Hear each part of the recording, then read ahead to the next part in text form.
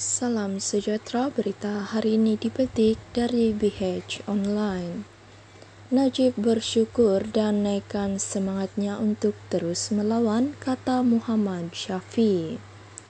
Kuala Lumpur anak buam saya mahu memberi tahu semua bahawa beliau bersyukur kepada Allah di atas keputusan tersebut dan ia menaikkan semangat serta keinginan untuk terus melawan dan membuktikan bahawa beliau tidak bersalah, kata Peguam Tan Sri Muhammad Syafi Abdullah.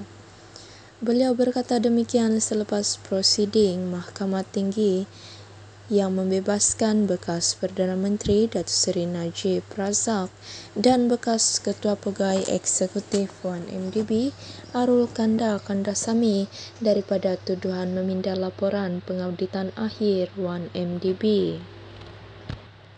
Muhammad Syafi berkata pihaknya berharap keputusan tersebut adalah permulaan bagi semua perkara baik yang akan datang.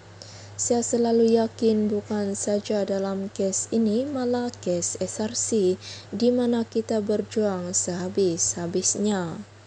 Malah saya yakin dalam kes SRC sekiranya Mahkamah Persekutuan mendengar semula perbicaraan itu, kita akan dapat menunjukkan bahawa Najib adalah tidak bersalah katanya.